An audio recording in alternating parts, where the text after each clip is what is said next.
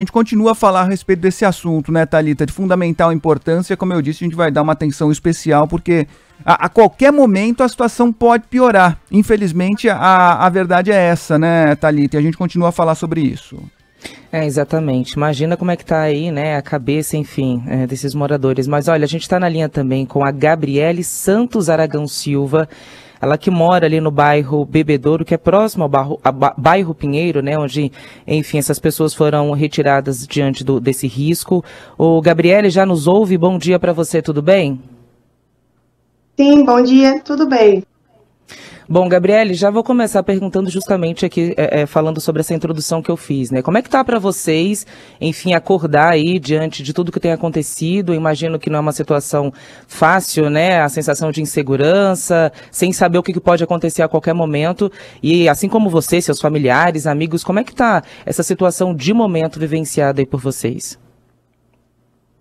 Olha, no momento estamos vivendo um verdadeiro caos, sabe? É, medo, muita aflição. É, desde o primeiro dia, que foi na quarta-feira, que eles anunciaram que essa mina poderia colapsar a qualquer momento, os moradores ficaram em pânico. Então, assim, nem todo mundo tem para onde ir. É, eu, minha mãe e minha irmã procuramos a casa da nossa família para se abrigar, com medo de a qualquer momento afundar. Mas nem todo mundo tem para onde ir. É, é triste, né? Isso não é de agora que vem acontecendo, já vem mais de cinco anos esse caso da Braskem. E eu não consigo dormir, estou tendo crises de ansiedade, minha mãe está tomando antidepressivo, e é triste, né? A gente cria laços, é, vendo. Tem pessoas saindo, tirando as pessoas à força de casa. É triste ver as pessoas dessa forma, com isso. A gente não sabe se vai cair, se não vai cair. Aí não queremos também deixar as nossas casas, né? A gente sai, questão dos vândalos podem se aproveitar, podem querer entrar em suas casas, e a gente está à mercê disso. O, o, o Gabriele, isso que você falou é, é talvez seja o principal para vocês, né? É, nem as autoridades conseguem dizer o seguinte, ó, vai cair, vai desmoronar, então é, é, é, é necessário realmente que todo, todo mundo saia. Né? Eles não conseguem, não dá para precisar se vai, se não vai, qual é o tamanho da consequência depois, se de fato acontecer. Então, só para a gente entender, você mora num bairro próximo a esse bairro Mutange, onde a mina está localizada. É, do bairro Sim. da mina, todo mundo já saiu. Pelo menos essa foi a informação passada pelo prefeito para a gente aqui ontem. Do seu bairro, Sim. as pessoas também estão pedindo para que os moradores deixem a região. Você disse que já pensou em sair para casa de parente e tal, mas é uma determinação das autoridades, da prefeitura e do governo do estado ou é por conta própria, mesmo por medo? Não, no meu caso é por conta própria. E não só o meu caso os moradores, né? A gente mora, o bairro da gente é basicamente ao lado do bairro do Bom Parto, que é o bairro Bebedouro. É, como eu disse a vocês, é, não é de agora que isso vem acontecendo. É, a minha rua é o flechal de cima e tem o flechal de baixo. Eles tiraram metade da rua e deixaram a outra rua. A gente vive em um isolamento social, onde não tem nada, não tem um mercadinho, não tem uma, uma padaria. A gente já pediu realocação faz anos não é de agora, a gente faz protestos e eles não nos escutam e falam que vão é, revitalizar o bairro. Só que a gente não entende como é que vai revitalizar o bairro se está acontecendo isso.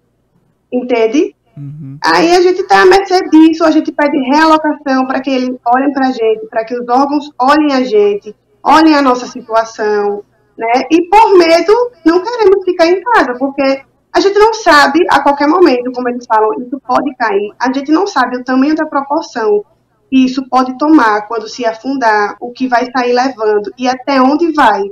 Então, assim, desde o primeiro dia, eu não dormi em casa, eu vim para casa das minhas tias. E mesmo dormindo fora de casa, é, eu estou tendo crise de ansiedade. É, fico preocupada com os meus vizinhos. Tem vizinhos meus que não têm para onde ir e estão com medo. Essa é a aflição. É, a cada momento, é, é uma notícia, a gente nunca sabe o que é verdade, o que é mentira. E estamos nessa aflição.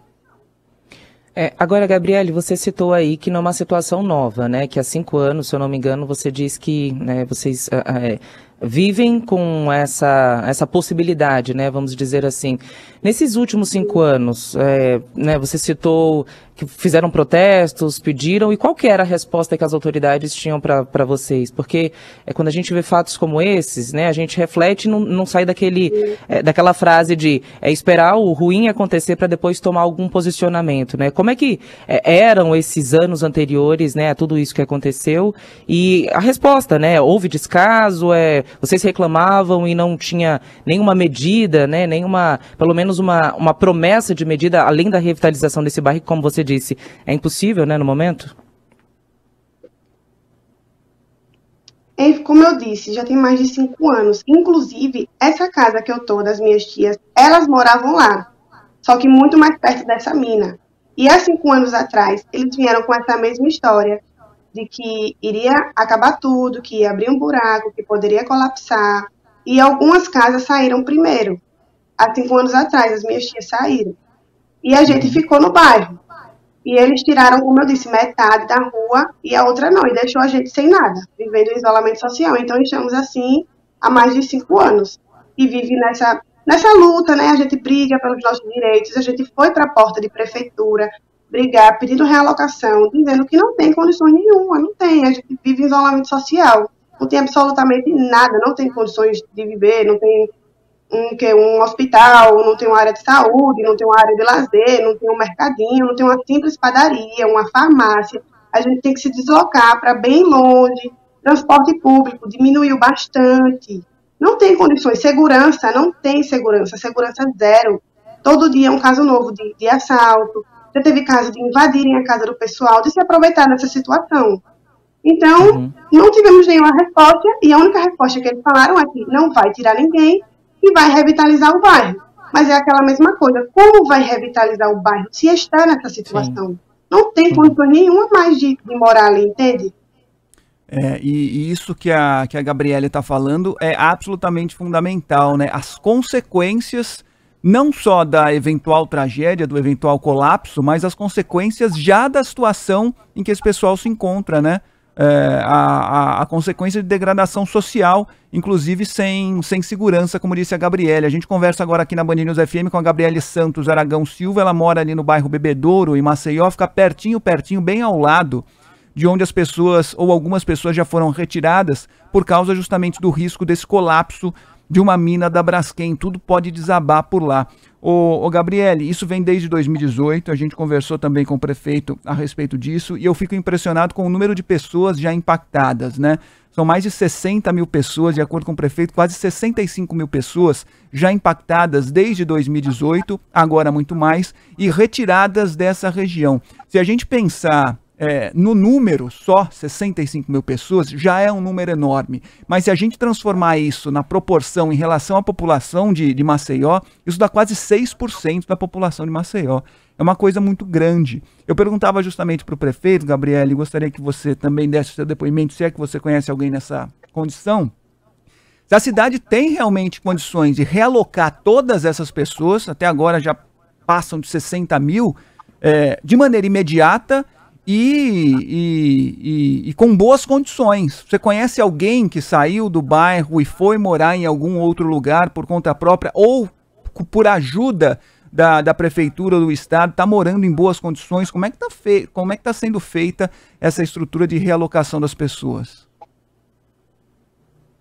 Olha, com relação à prefeitura, eu não tenho muita coisa boa assim para se falar. Como eu disse, muitas pessoas saíram por conta própria por medo, não por ajuda. E como eu disse, agora o pessoal do Bom Parto, eles também eram uma das pessoas que pediam realocação e eles não realocaram. E com isso acontecendo, é, as pessoas foram tiradas à força de sua casa, sem querer sair. Então, eles disponibilizaram seis, se eu não me engano, seis colégios públicos para botar essas famílias. Só que a questão é isso, essas famílias não querem ir para escolas, entendeu? Elas só queriam ser realocadas e morar em sua própria casa, sua própria residência, entendeu? Ela fica preocupada com as suas coisas e as minhas coisas. Como é que ficam? Para onde eu vou? Entende? Então, essa é a questão. A gente só queria ser realocado, porque eles têm condições, sim, de, de, nos tirar, né, e botar a gente em um lugar melhor, que era o que a gente já pedia antes, entende? Então, é complicado. Então, depois de tudo isso, aí acontece isso, e eles querem tirar a gente à força. Mas a gente luta pelos nossos direitos, porque não tem condições. Sem dúvida, é, é, esse é o ponto fundamental, é o ponto crucial, né? As pessoas precisam ser realocadas, precisam ser amparadas, mas em boas condições. Então, só para encerrar com você, Gabriele, só para a gente entender, algumas pessoas foram retiradas de lá, algumas por conta própria, é claro, por medo, saíram, mas outras pessoas com a ajuda das autoridades, mas é, as casas não foram esvaziadas, quer dizer, as pessoas saíram ali com roupa, e, e, e, de fato, como não tem um lugar específico para onde ir, deixaram móveis para trás, deixaram outros pertences para trás e essas coisas ainda estão lá na área que foi evacuada, é isso? Isso, é triste de falar, mas sim, inclusive eu até presenciei, né, as pessoas saindo de suas casas com a roupa do couro, simplesmente com a roupa do couro, acho que é questão de, de minutos para pegar alguma roupinha, alguma coisa, e deixou tudo para trás. E eu passei é, em uma rua ali do Farol e eu presenciei isso e é muito triste, sabe? É, eu moro minha vida toda aqui no bairro de Bebedouro desde que eu nasci e ver isso acontecer, os bairros virando fantasma, como eles falam, as casas destruídas e ninguém tá nem aí. Só quem sabe é a gente que tá passando. É muito triste.